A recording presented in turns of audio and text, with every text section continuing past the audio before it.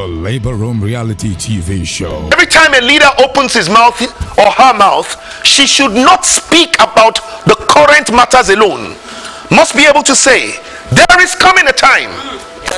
And that time must create that audacity in the heart of the people. You understand what I'm saying?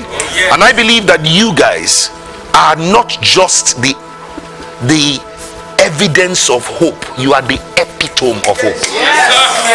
For Nigeria has been ruled for more than 50 years and we have never ever fulfilled our potential. But whilst we do not have the capacity to rule, we are raising a generation. And it is here that have the capacity to lead.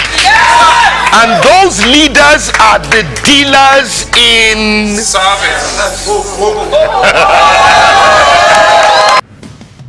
37 intelligent Nigerian youths will lead over 200 million viewers into the labor room. For 60 days in one mansion, they must pay the price to deliver to the world a brand new super nation. The Labor Room Reality TV Show.